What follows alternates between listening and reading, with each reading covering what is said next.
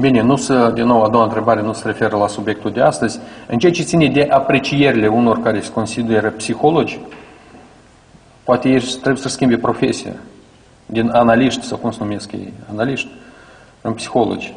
Eu vreau să spun că am avut o discuție foarte bună, sinceră. Chiar cu doamna Mogherini, fiind planificat 30 minute, am discutat o oră și 15 minute. Cu domnul Tusk trebuia să discutăm 30 sau 25, am discutat 40 de minute. Cu domnul Juncker, la fel, ați văzut, uh, discuții foarte bune, sincere. Eu cred că și pentru ei erau importante aceste discuții, nu doar pentru mine, cu oficialii de la Bruxelles.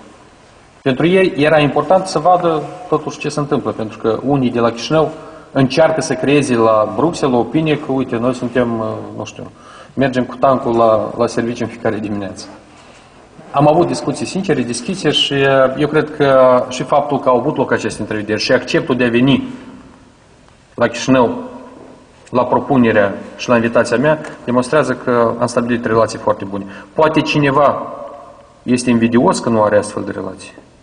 Poate cineva se aștepta că să ne închidă ușile și își dorea acest lucru. Și eu știu că au fost astfel de mesaje. Dar nu vă întâlniți.